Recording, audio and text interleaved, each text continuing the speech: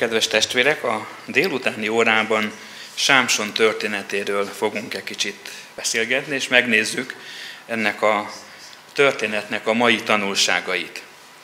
A történetből egy rövidebb szakaszt fogok elolvasni, és természetesen, hogy a történetet ismerjük, és az életének több részéből is fogunk eseményeket megvizsgálni, és ezeknek a tanulságait.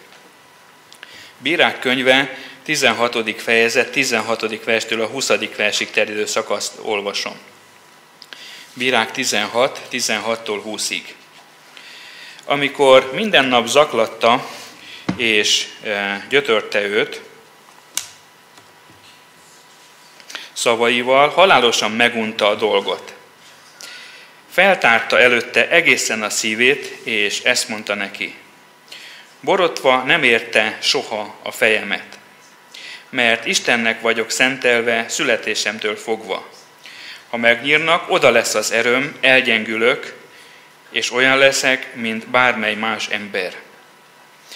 Amikor Delila látta, hogy egészen feltárta előtte a szívét, elküldte és hívatta filiszteusok városfejedelmeit, és ezt üzente. Most jöjjetek, mert egészen feltárta előttem a szívét. A filiszteusok városfejedelmei elmentek hozzá, és a pénzt is vitték magukkal. Ekkor elaltatta Sámsont a térdén, hívott egy embert, és levágott hét hajfürtöt a fejéről. Azután elkezdte szólongatni, de azt már elhagyta az ereje. Ezt mondta Delila. Jönnek a filiszteusok Sámson. Ő felébredt álmából, de azt gondolta, kiszabadulok most is, mint máskor, csak megrázom magam. Mert még nem tudta, hogy elhagyta őt az Úr. Mi jut eszünkbe akkor, amikor ezt a nevet halljuk, hogy Sámson? Mi ugrik be úgy elsőnek? Sámson, haja, ereje, erős ember volt. Egy erős emberre gondolunk, akinek volt egy gyengesége. Egy olyan ember, egy olyan erős ember, akinek a gyengesége a rossz nők voltak tulajdonképpen. Ott ismerjük meg a történetét, amikor az Úr elhívta őt már születése előtt, kiválasztotta őt, hogy az ő népének a szabadítója legyen. És most ebben a történetben ott látjuk, tehát az elhívás, a születés előtti elhívása, most pedig a feje ott nyugszik egy filiszteus asszonynak az ölében, és levágják a haját, és elhagyja őt az Úr. Nagy váradalmak előzték meg őt, abban az időben tudjuk a bírák könyvéből, hogy, hogy különböző népek igázták le őket, és a, a bírák voltak a szabadítók, akik megszabadították e, Izraelt az ellenség e, kezéből. Nagy váradalmak voltak, amikor született, és most ott, ott tartunk, hogy elhagyta őt az Úr. Ismerjük a csodás születését, amikor a Bibliában egy angyal megjelenik egy meddőhölgynek, akkor nagy elvárások vannak, valami történni fog, amikor ilyen csodálatos módon születik valaki tulajdonképpen. Mindenki azt várja, hogy egy bíra lesz, azt várja, hogy egy szabadító lesz, meg fogja szabadítani Izraelt. Egyedülálló hős itt a bírák könyvében, mert voltak más bírák is, de mindenkinek az életéhez tapadt valami, valami olyan, amiért nem tudták teljesen elfogadni. Ha a különböző bírákra gondolunk, akkor például ott volt Debora. Mit tudunk Deboráról?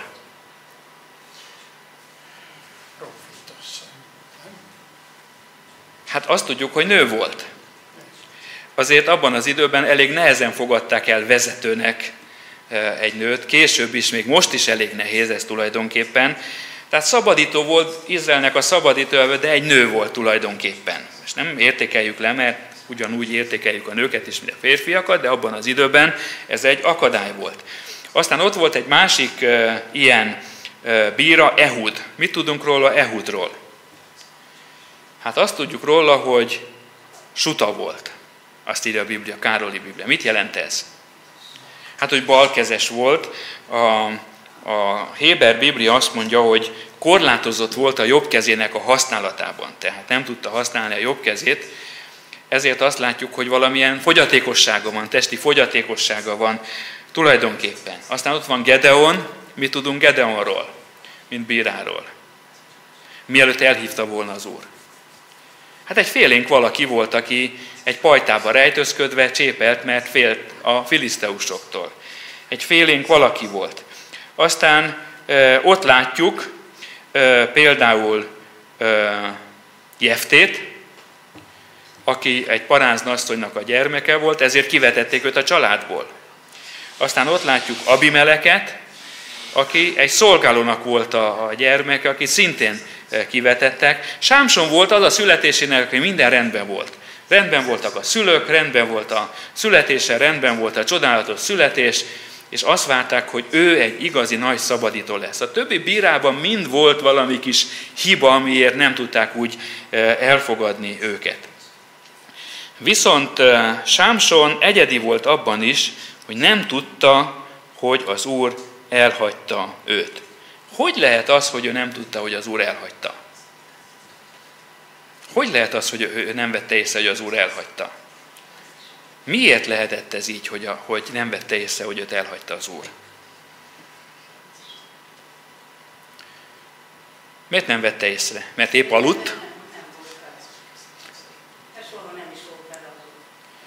Hát azért, mikor megszabadította a, a, az erejével, akkor csak valamilyen módon vele volt az Úr. Tessék? Mind a kettő igaz tulajdonképpen, mert ez is igaz, hogy nem volt vele az Úr, vagy ő nem volt az Úrral. Azért, azért nem tudta, hogy az Úr elhagyta, mert nem ismerte azt az érzést amikor az Úr vele van. Nem ismerte azt az állapotot, hogy milyen az, amikor az Úr vele van, és amikor az Úr elhagyja, akkor nem ismeri. Nektek volt ilyen érzésetek már, amikor azt éreztetek, hogy az Úr elhagyott? Éreztetek ilyet? Vagy mi is, mint Sámson, nem tudjuk, hogy mikor van velünk, és nem tudjuk, hogy mikor nincs velünk. Lehet, hogy olyan keményen, olyan, olyan durván nem éltük át, de én magam részéről is ismerem ezt az érzést, és mások is elmondták hogy amikor nem foglalkozok eleget Istennel, az ő igével, nem átkozok eleget, és úgy érzem, hogy eltávolodok tőle. És van egy fájdalomérzés bennem, egy hiányérzés, hogy nem így kellene, hogy legyen az én kapcsolatom az Úrral, komolyabb kellene legyen. Nem, nem megfelelő ez. Lehet, hogy nem mondjuk azt, elhagyott az Isten, vagy mi elhagytuk, de van, amikor úgy azért szúrod belől, hogy Többet kell nekem imádkozni, nem megfelelő ez. Nem megfelelőképpen szeretem az Urat, nem megfelelőképpen szolgálom az Urat. Gondolom, hogy ti is hasonlót átéltetek, én éltem át ilyet, és beszélgettem már emberekkel, amikor, amikor érzékenyek vagyunk arra, hogy valami a kapcsolatunkba közbeszólt az Isten a kapcsolatunkban. Nem olyan, ami ennek lenni kell, nem olyan teljes, nem olyan, olyan erőteljes, nem olyan, olyan élvezetes, amikor élvezzük ezt az egészet, érezzük, hogy valami elromlott. Hát e, e, tulajdonképpen Sámson nem vette észre, hogy elhagyta az Úr. Egy példával szeretném ezt szemléltetni. Szeretnék olyan neveket választani, ami nincs így a gyülekezetben, de véletlenül mellé trafálok, akkor bocsássatok meg. Mondjuk Jancsi és Juliska egy pár, és, és Jancsi nem veszi észre azt, hogy Juliska elhagyta őt. Hogy lehet ez? Milyen kapcsolat az, amikor férfeleség, vagy egy pár együtt észre sem veszi az egyik, hogy a másik elhagyta. Ez azt jelenti, hogy nagyon, nagyon rossz a kapcsolatuk tulajdonképpen. Nagyon felszínes a kapcsolatuk tulajdonképpen, ha észre sem veszi a másik, hogy, hogy elhagyták tulajdonképpen. Sámson nem tudta, hogy őt az úr elhagyta. Sámson nazír volt. Mit tudunk a nazirokról? Voltak olyan dolgok, amiket a naziroknak nem lehetett tenni, ami tilos volt nekik, bizonyos szabályok. Mózes negyedik könyve, hatodik fejezet, második verse leírja, hogy a naziroknak mit lehetett, mit nem lehetett, de lehet, hogy emlékeztek, így fejből próbáljuk összeadni, hogy ez a finom ebéd után azért próbáljuk egy kicsit az agyunkat mozgatni, mert nehéz így gondolkozni, meg hallgatni a prédikációt. Mire emlékeztek, hogy a naziroknak mit volt szabad, és mit nem volt szabad tenni. Hát nem ihattak bort, ecetet sem használhattak, úgyhogy nem ettem volna a savanyú borkát abból a finomból, amit adtatok, ha az lettem volna. Szőlőt sem ehettek, egyáltalán a gyümölcsöt sem, a héját sem, meg a magvát sem, ezeket is mind elmondja a Biblia, hogy ez nem volt szabad. Aztán borotva nem érintette a nazírnak a fejét, nem nyírhatták meg, és nem érinthetett tisztátalant, nem érinthetett holtestet, és még temetéssel se mehetett el tulajdonképpen. Ha megnézzük ezeket a, a kitételeket, amiket itt látunk, akkor, eh, akkor eh, látjuk azt, hogy ezek hogy valósultak meg a, az életében. Tehát nem ehetett szőlőt. De az az érdekes, hogy valamilyen módon mindig a szőlőben látjuk, és ott történnek a problémák vele. Mit keres ő a szőlőben, aki nem ehet szőlőt? És meg, is, meg se érintheti meg ilyenek. Nem tudjuk, hogy vele hogy történt, de hogy történik velünk akkor, amikor vannak olyan dolgok, amiket nem lenne szabad megtenni, vagy távol kell tartanunk magunkat. Hát csak úgy elmegyek mellette, hát csak kicsit közel, kicsit megnézem, megérintem, talán megkóstolom, talán nem nyelem le.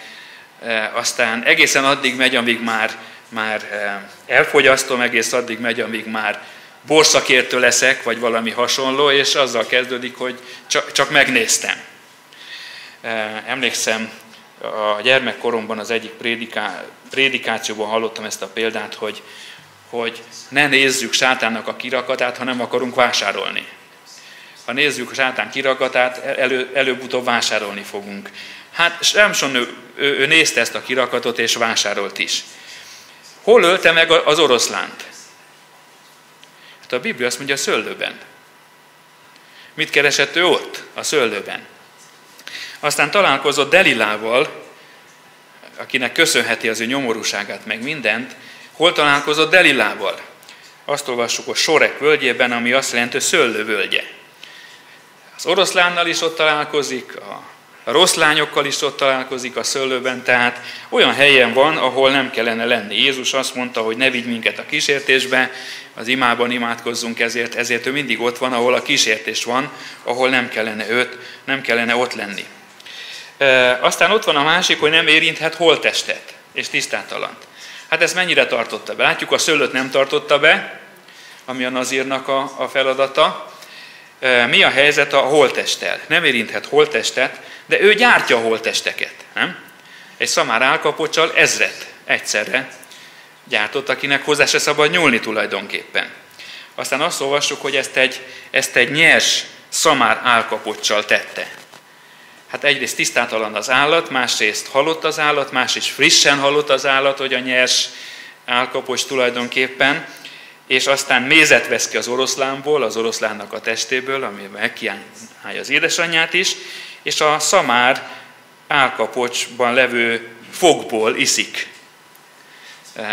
Az a nazír, akinek nem volt szabad holtest közelébe lenni, azt látjuk, hogy ő gyártja, ott van az életében lépten lépten nyomon. Hát még maradt egy dolog a nazírságából. A szőlőt nem tudta megtartani, a holtesttel kapcsolatosan nem tudja megtartani, amit kellett volna, és még volt egy, ami megmaradt, a haja. Egyedül a haja volt meg, e, az most ott fekszik Delila ölében, egy dolog maradt meg a nazírságából, a haja, de most attól is búcsúzik. És nem tudja, hogy az Úr elhagyta őt. A hajviselet a naziroknak azért volt, hogy meg lehessen különböztetni őket, hogy nazirok. A nazirokat ismerni kellett. Egy tömegben ránéztünk a tömegre, tudtuk, hogy ki a nazir. A nazír lehetett az, aki egész életére vagy életének egy bizonyos részére fogadalmat tett. Ez nem jelentette azt, hogy mindenki egész életében nem evett szőlőt meg ilyeneket, hanem egy bizonyos időre tettek fogadalmat, de aki fogadalmat tett, ránéztek a tömegben, és látták azt, hogy ő nazír az Úrnak van szentelve. Fogadalmat tett. Mi is tettünk fogadalmat az Úrnak, mint keresztények. Vajon mi megkülönböztethetők vagyunk-e? Sámson eljutott egészen addig, hogy egy filiszteus tömegben nem lehetett őt felismerni. Már a haja sem különböztette meg őt, semmi. Abszolút. Vajon mi, akik Krisztusnak szenteltük magunkat, megkülönböztethetőnek kell -e lennünk? Igen vagy nem? És miben kell, hogy megkülönböztethetők legyünk?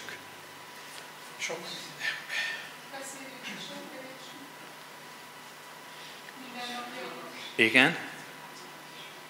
Jézus mondott valamit ezzel kapcsolatosan, hogy miről ismerik meg, miről különböztetik meg. Jézus azt mondta, hogy arról, hogy szeretni fogjátok egymást. Nazír, Nazírt a hajáról lehetett felismerni, és bennünket, keresztényeket, mit mond Jézus, hogy honnan, honnan ismernek fel? Azt, ahogyan viszonyulunk egymáshoz, ahogy ö, szeretni tudjuk ö, egymást. A nazírséget nehéz hamisítani. De Sámson annyira igyekezett, hogy neki sikerült. Meghamisította. Vajon a szeretetet lehet-e hamisítani? Igazából nem lehet, de megpróbáljuk, és sikerül. Tudunk képmutatóan szeretni tulajdonképpen, sőt, vannak olyan esetek, amikor könnyebb hamisítani, mint gyakorolni. Könnyebb jó képet vágni, könnyebb egy kicsit azt mutatni, de belül meg utáljuk a másikat. Sokkal nehezebb megvalósítani a szeretetet, eh, és sokkal eh, nehezebb megtenni, mint hogy hamisítsuk, ezért hamisítani szoktuk néha. Nézzük Sámsonnak az életét. Tulajdonképpen Sámson nem csak egy élete, nem csak egy, egy bukott vezérnek az élete, hanem tulajdonképpen Izraelt jelképezi. Nem csak egy embernek a sorsáról, egy kudarcáról van szó, hanem egy egész nemzetet látunk Sámsonban. Mert ami történik Sámsonnal, az történik Izraellel. Ami Izrael történt, az történt Sámsonnal. Egy ember életében látjuk az egész Izraelnek a történetét tulajdonképpen. És nézzük meg ezeket a hasonlóságokat Izrael és Sámson között. Izrael Istennek volt szentelve születése előtt. Mit tudunk Sámsonról? Istennek volt szentelve születése előtt. Izrael folyamatosan hűtlen Istenhez. Nézzük meg Mózes negyedik könyvét különösképpen, de Mózes könyveit. Folyamatosan hűtlenkedik e, Istennel szemben. És mit tesz Sámson? Ő is folyamatosan hűtlen. Izrael idegen istenek után koslat, Sámson idegen asszonyok után megy. Felesége Filiszteus, Filiszteus prostituálthoz jár, és most a legújabb barátnője is Filiszteus tulajdonképpen. Itt elcsodálkozok ezen, tehát nem csak az történt, hogy Sámsonnak volt a kis bukás az életében rövid kis ideig, aztán jött is a rossz, hogy Istennek milyen türelme volt, nem tudom, valaki emlékszik hogy mennyi ideig bíráskodott Sámson. Úgy tudom, hogy ilyen 20 vagy 40 év, tehát sok, sok idő. És, és Istennek mekkora türelme volt, ő volt az ország első vezetője. És mi hol látjuk a filiszteus prostituáltnál, meg filiszteus barátnőt tart, meg ilyeneket látunk vele kapcsolatosan. Tehát azt mondtuk, hogy Izrael idegen istenekkel paráználkodik, vagy idegen istenek után jár, Sámson pedig idegen, idegen hölgyek után jár. Izraelt elcsábítják az idegen istenek, Sámson pedig az idegen nők. Izrael gyakran találjuk az idegen isteneknek az istentiszteletein a templomában.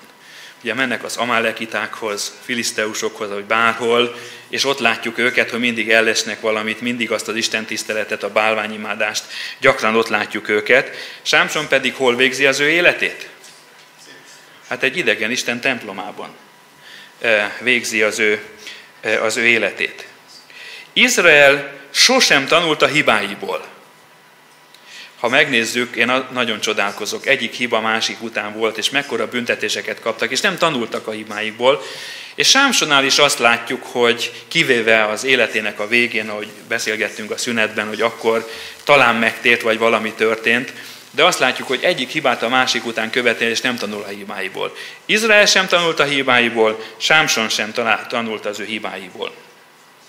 Vajon mennyire elkeseredett lehetett? Azt olvastuk, hogy annyira gyötörte őt nap mint nap ez a hölgy, hogy végül elárulta a dolgát. Vajon mennyire beteg lehetett az a valaki, aki tudja, hogy most ha én elárulom, akkor végem van az egésznek. És már annyira belefáradt, hogy feladta az egészet és elárulta a titkát.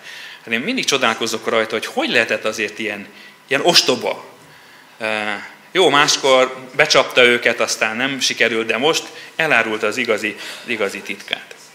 Azt olvassuk még Izraelről, hogy Izrael Isten választottja volt, és láttuk, hogy Sámson is, Izrael, Sámson is Istennek a választottja tulajdonképpen.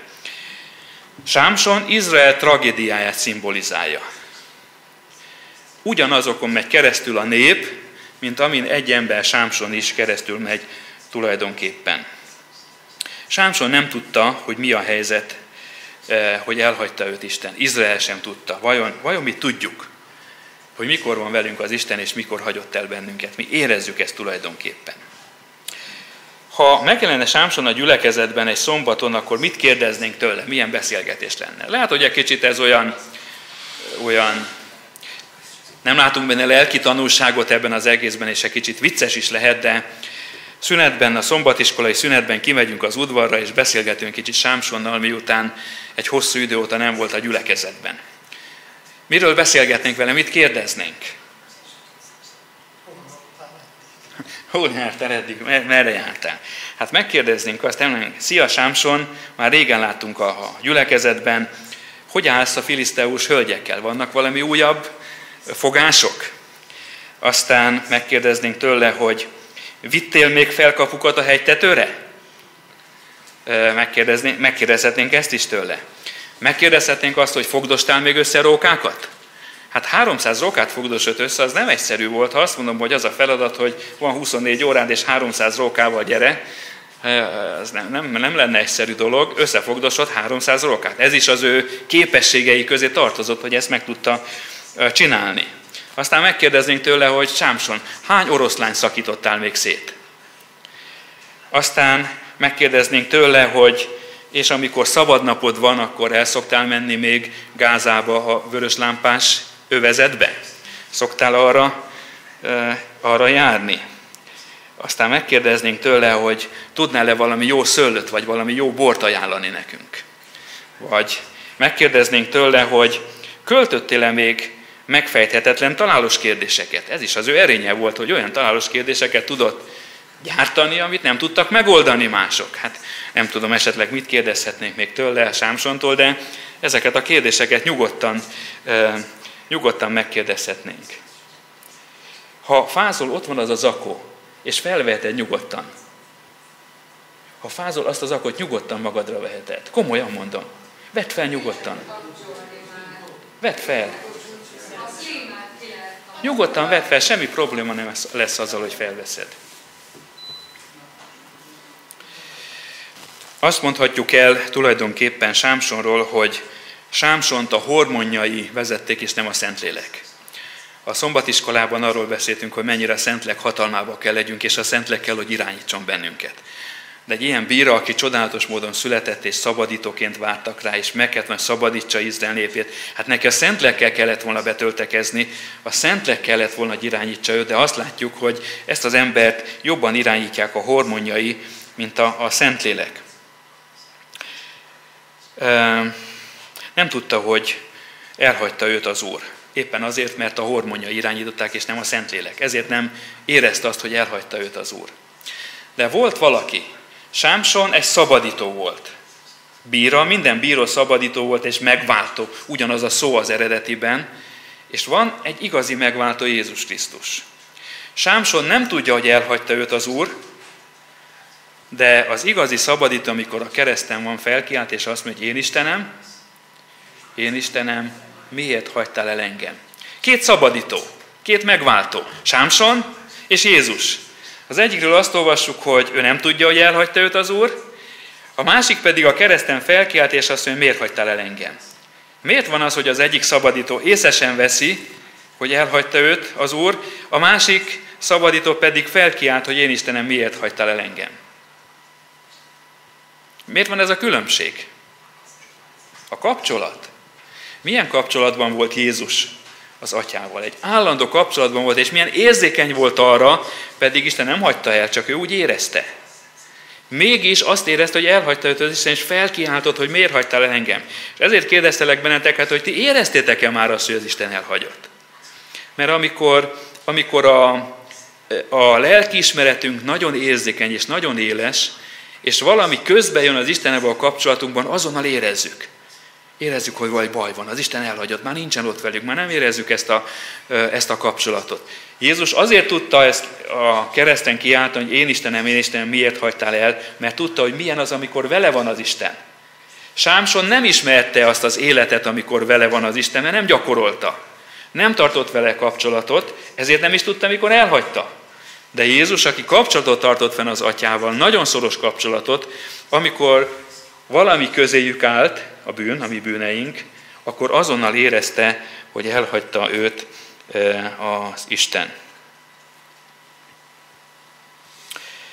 Milyen elpazarolt élete volt Sámsonnak, és talán sírhatnékunk támad, mert Sámson mindennel rendelkezett ahhoz, hogy egy szép életet éljen, és egy igazi szabadító legyen. Mi kellett volna még hozzá? Mit adhatott volna még az Isten neki, ami nem volt, amit nem kapott meg ahhoz, hogy, hogy minden a rendelkezésére álljon? Mindenem megvolt, amire, amire, amire szüksége volt. De mit ért el azzal, hogy ezer embert le tudott ütni a szamár álkapocsal? Mit ért el azzal, hogy Gáza kapuit felvitt a hegytetőre? Mit ért el azzal, hogy megoldhatatlan találós kérdéseket tudott kitalálni? Mit ért el azzal, hogy rókákat tudott összefogdosni? Mit ért el azzal, hogy a szép filiszteus hölgyek a lába előtt hevertek, akkor, amikor nem tudta azt, hogy elhagyta őt az Isten? Mit ért ezekkel a dolgokkal? És ha megkérdezlek titeket, ha az értékekről szeretnénk beszélni, akkor milyen, mik voltak Sámsonnak az értékei, amiről azt mondta, hogy na ezt teszi az embert emberé. Ez az, ami nekem kell az életben. Ez az, amitől értelmes az életem. Próbáljuk meg így, így közösen összehozni, mi volt Sámsonnak, mik voltak az értékek az életében. Az ereje, felsoroltuk már itt néhányszor ezeket, hogy mi volt. Az ereje volt, a magabiztossága volt, az, hogy fel tudta vinni a kaput, hogy össze tudta fogdosni a rókákat, hogy találós kérdéseket tudott kitalálni, hogy a láb előtt hevertek a, a hölgyek, le tudta venni a, a lábáról a hölgyeket. Ezek voltak az ő értékei. Na most ezek, ezek milyen értékek? Ezek igazi értékek? Ezt akarja? Ezt akarja Isten, hogy, hogy ilyen, ilyen érté... ez legyen egy embernek az értékrendje tulajdonképpen? Testi értékek. Sámson a látványosságra szakosodott, és nem arra, ami fontos. Hát milyen látványos volt, amikor fölkapja a városkapuit. Ez nem olyan volt, mint nekem ez is 10 métert is vinni ez a kapu is, de a város kapuja az volt, ami elzárta az ellenséget, hogy ne tudjon bejönni. Annak olyan nagynak és olyan erősnek kellett lenni, hogy ne tudják betörni ezt a kaput. Ő meg fogta, a hátára vette és a hegytetőre felvitte.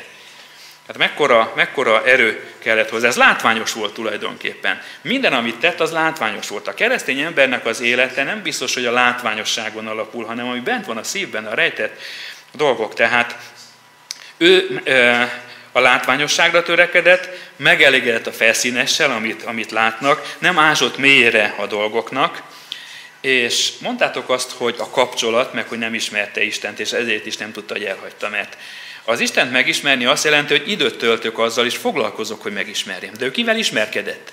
Hát a filiszteusokkal ismerkedett. A filiszteus hölgyekkel ismerkedett, ahelyett, hogy Istennel ismerkedett volna. Miért nem tudta, hogy az Isten elhagyta? Mert nem ismerkedett meg vele. Mert az életében nem az volt az első, hogy Istent ismerje meg, hanem a filiszteusokat ismerje meg. Ezért Isten kimaradt az életéből, és nem tudta, hogy, hogy elhagyta. Milyen értékeket val ma a világ, és mi, akik itt vagyunk, mi az, ami fontos nekünk az életben, amire azt mondjuk, hogy na ettől vagyok férfi, ettől vagyok ember, ez az, amit megvalósítottam az életben. Vagy nem esünk bele abba a hibába, hogy a felszínes dolgokat jelöljük meg a mi életünkben is, amit el tudunk érni az életben. Sámson ezt tette az értéke, amit el tudott élni. És nagyon sok ember ezt teszi. Nem az Istennel való mély kapcsolat, hanem amit látnak az emberek, amit az életben el tudok, el tudok érni, és ugyanaz a kudarc tulajdonképpen, mert nem ismerjük meg az Istent. Ez az élet arra való, hogy megismerkedjünk az Istennel. De ha mi az üzlettel ismerkedünk, a karrierrel ismerkedünk, a szórakozással ismerkedünk, akkor nem fogjuk megismerni az Istent, akire tulajdonképpen szükségünk van.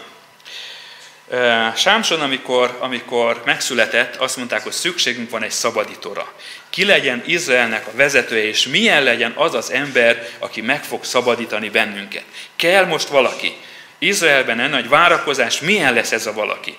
Hát, hogy az ellenségtől megszabadítsa, erősnek kellett lenni. Meg volt, meg volt ez, amit akartak? Erős, aki megszabadítja őket. És bölcs is legyen, az is fontos. Hát bölcs volt, mert tudott jó találós kérdéseket mondani. Ők kaptak egy olyan embert, aki erős volt és bölcs, és aztán kudarcot vallottak vele.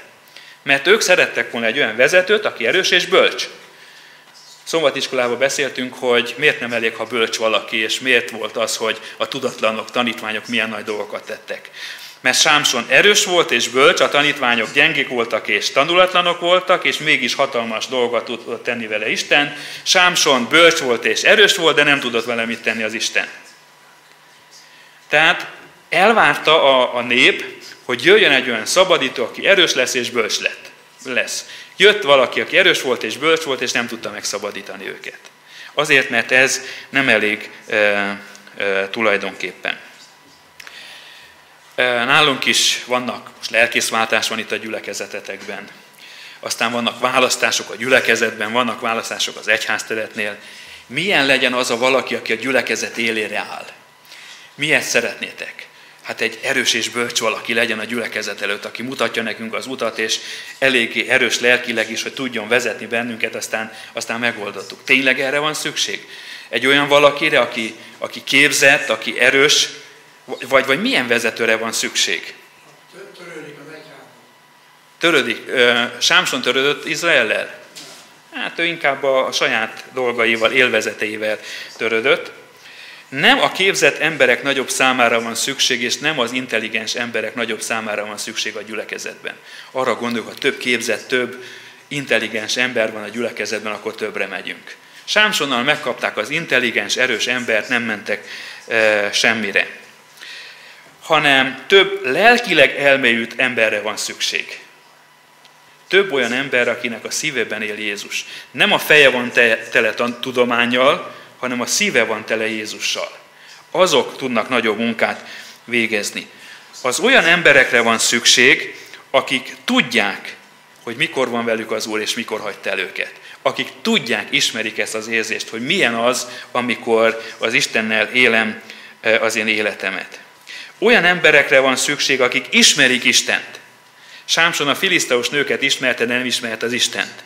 Manapság is ismerhetjük a kereskedelmet, ismerhetjük a, a dolgokat, a szórakozást, mindent ismerhetünk, ha nem ismerjük Istent. Ő ismerte, de nem ismerte Istent. Olyan emberekre van szükségünk, akik elkerülik Sámson tragédiáját.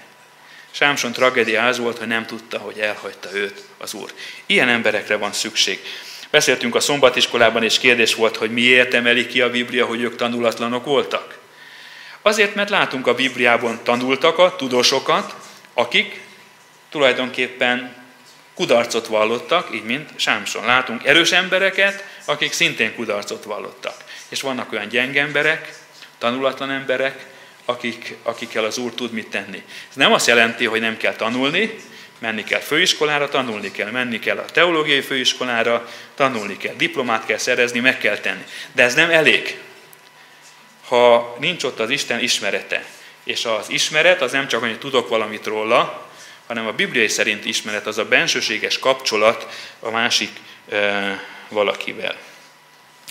Sámsonnak ezek voltak a dolgok, amit neki, ami neki örömet jelentettek. Milyen erős, hogy tudja összefogdosni a rókákat, abban, hogy hogy tudja elcsábítani a filiszteus nőket, ez jelentette az örömet és élvezetet.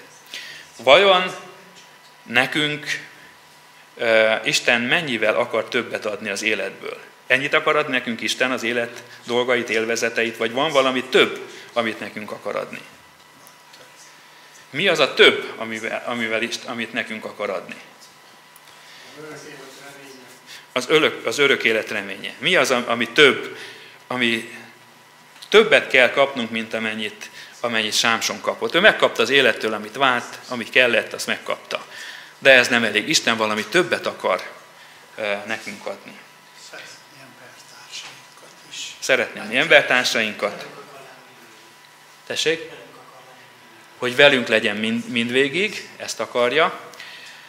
Pálnak van egy imája, amivel megfogalmazza, hogy mit akar Isten többet velünk, mint amit Sámson kapott meg az élettől. És ebben az imában minden benne van, úgy gondolom.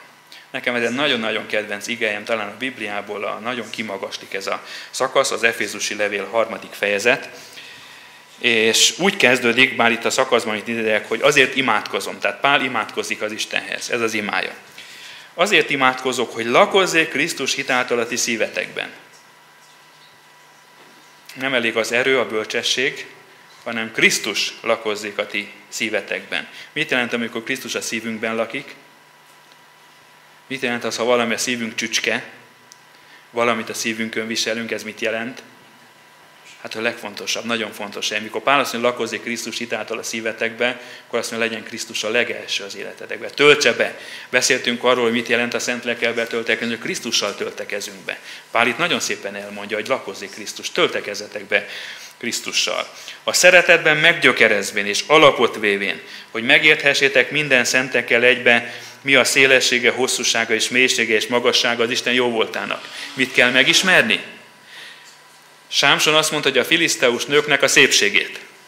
Pál azt mondja, hogy nem, hanem megérthessétek Krisztus szeretetének mélységét, magasságát, szélességét, hosszúságát. Különbözik a kettő?